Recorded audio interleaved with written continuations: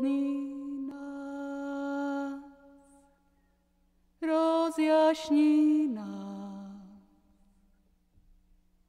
o czystości wód, czystości